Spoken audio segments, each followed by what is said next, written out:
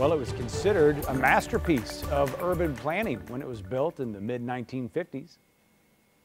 But the Pruitt-Igoe high-rise apartments became a heartbreaking symbol of the failure of public housing and the community's inability to address problems of racial segregation, poverty, and crime. On today's Vintage KSDK, a look back to the mid-70s when the complex was being torn down. There was so much hope when the 33 buildings that made up the Pruitt-Igoe apartments were drawn by a famous architect in the 1950s.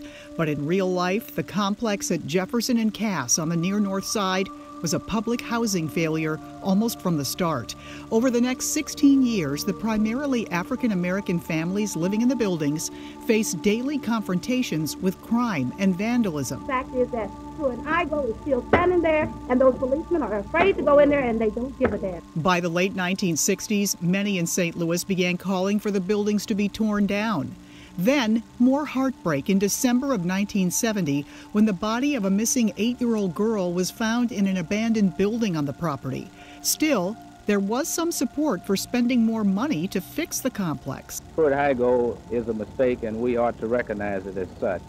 And if we have any money available, it should be for the purpose of tearing Pruitt-Igoe down and building houses on a scattered site basis without uh, concentrating large numbers of people uh, from low economic backgrounds in an area such as the Pruitt-Igoe complex.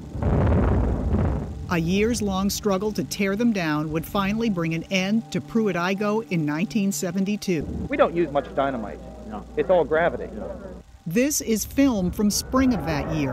Implosions leveled buildings on March 16th, April 21st, and June 9th, 1972.